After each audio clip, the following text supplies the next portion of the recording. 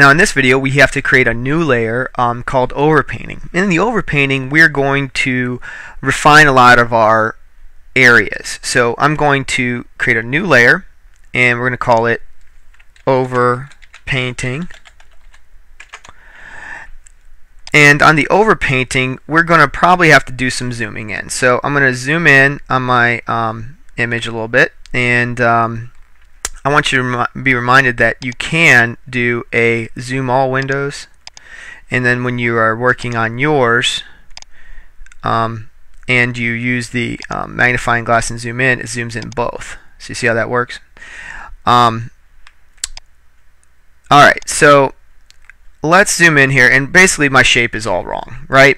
I need to make it much rounder over here um, I'm going to start putting in some of the highlights. I wanted you also notice that, you know, um, these fruits grow from a small round object outward and kind of go out. Imagine like the lines on a pumpkin. It's very exaggerated, but those lines are also on apples. So I want you to see how these lines are curving around. So during this time, I'm going to be using strokes that go this way or this way or and around um, to make the edge. So let's start with that and I'm going to get on the brush tool and I'm going to start going here. Alright, so for the overpainting, um, I'm going to soften up my brush a little bit. So I'm going to click into my brush settings and I'm going to change its hardness down. Um, 40 looks 40 looks good. Okay, don't make it super soft. Okay. All right, and I'm gonna, like I said, I need to extend this out. So I'm gonna take this this color here, this dark red, and I'm gonna extend this out some more and make that a little rounder. And it's definitely lighter as it's coming around so I'm gonna let it get lighter here. And make it a little bigger and let's see. There we go. And um, uh, up here right if anytime you need to sample from the original you can. Just remember that uh, sometimes you have to exaggerate your sampling so if it's not coming through right you might have to alter the colors a little bit to make it work and uh, definitely get some up here. I'm going to shrink my brush some. If you're wondering how I'm shrinking my brush on the fly like that, um, basically what I do is I hold down Alt and it makes the um, color picker come up. But then I hold down the button on my pen which is like right mouse clicking. And I hold it down and turn and just move right and left and I can make the brush different sizes. Alright, so let's show you how that works. Alright, so anyway up here I need to make this come around the top. Just like that. A few little lines. Okay. And um, let's extend this over some. A little softer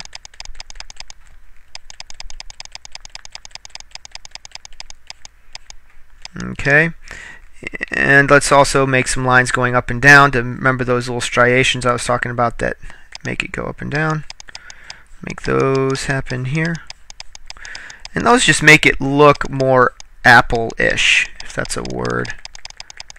Anyway, and then over here I'm going to make these definitely darker, so I'm going to pick up a darker color here, kind of make that come out darker.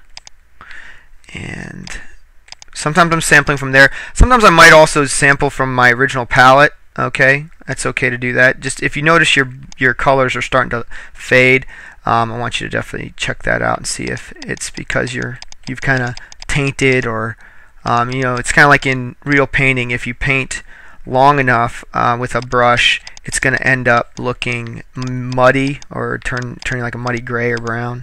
Okay.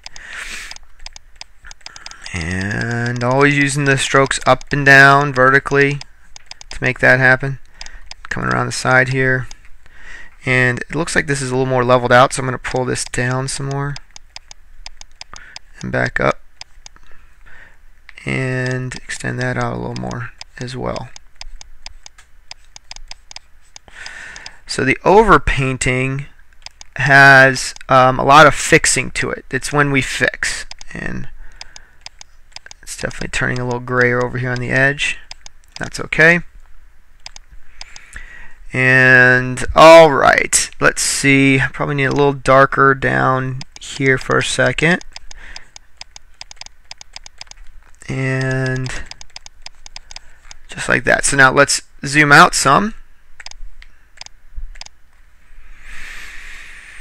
Okay, yeah, definitely take a look outside every now and then and check it out and see how it's looking. It looks like I need to get a little darker here, maybe a little more red up here. Alright, so let's do that. Okay. So I'm going to get a little more red. Let's see. Yeah, a little more red. And make that transition a little slower. And then a little darker down here.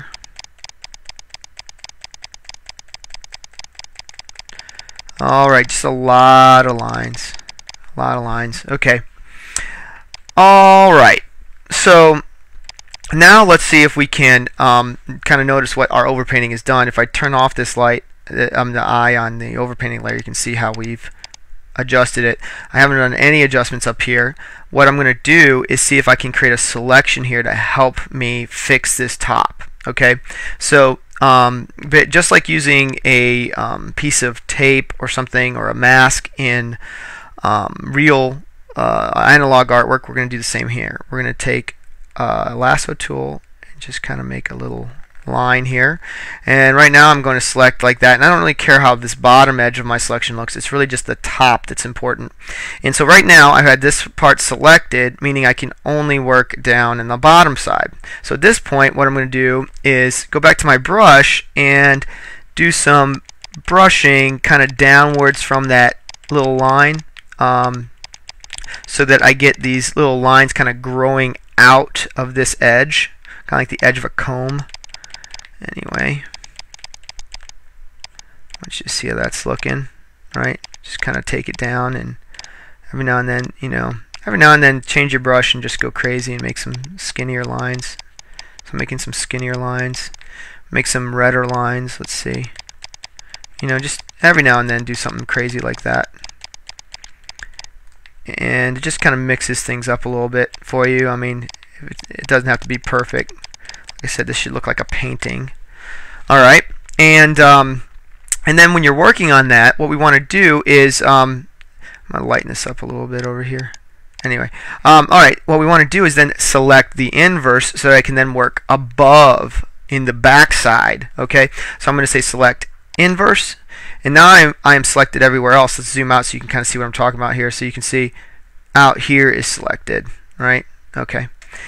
And what I want to do is um, I'm honestly going to kind of redo a lot of this. Um, I'm going to start with the dark color here and just kind of go through and do this really quick. All right, and I'm going to get some of these lines to come up and jump over. I'm going to change my brush size. All right, Get some of those reds coming back, just kind of like so. And same thing this direction. I don't really care how far out I go. I don't care if I have a line going like that. It doesn't really matter. I'm going to undo that one. But um, it's not a big deal if I do that. Alright, so now I want to definitely get this nice green color. So I'm going to sample some of that. And I'm going to start from inside the selection where nothing will paint and then move up out of it. So let's see how this works Yep, just like that and kind of crisscross because you have semi-transparent brush it's going to um, overlap and create some cool effects that'll look like the lines that they need to be. And I'm gonna make some grayish ones here it looks like. Alright very good. And some orange ones coming back this way. Okay. Um, maybe even lighter in here. Let's see how that's looking. Yep. Very nice. Okay, and a little bit, I'm just going to get some of this lighter over here. Alright, for a second. Alright, and uh, I'm probably going to go ahead and do the stem at this point. So let's see if we can do that stem.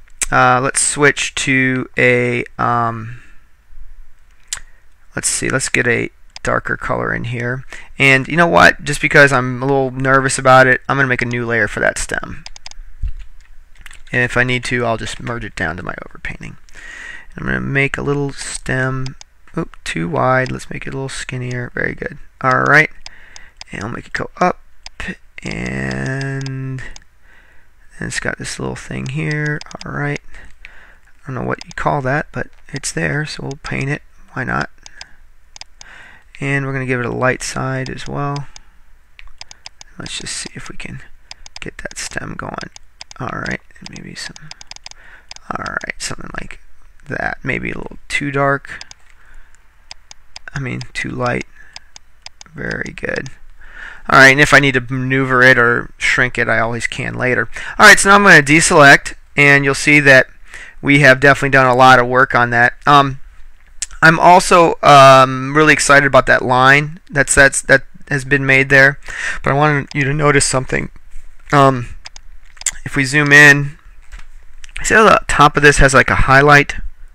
We want to get that highlighted in there, so I'm going to select and um, uh, let's see here. We're going to select and reselect. And what I want to do is take my brush, make it be white, really big, and we're also going to make it softer, way softer. And what I'm going to do is I'm going to turn down my overall opacity for just a moment on my brush to where it paints really, really, really lightly. And now if I select the inverse, which now I just have this area, see I can paint here, we'll undo that. Uh, I'm just going to kind of make a little haze right there, a little haze right there. That's it. All right, and deselect. So now I got that haze going. That's what I needed. Yeah. Oh, it looks like there's a little shadow from the stem. We'll go ahead and add that in. So we'll reselect, and this time I'll turn it to black and make a little shadow right there. Yeah. And deselect. All right. So now my apple overpainting, I'd say, is pretty good. You could um, start uh, cleaning up the edge. Remember, you'd have to go back down and um, to the overpainting. I'm going to go ahead and merge my two layers together. Um, you can Control E that or right click on it and merge down. And this one here is going to be my overpainting. Um,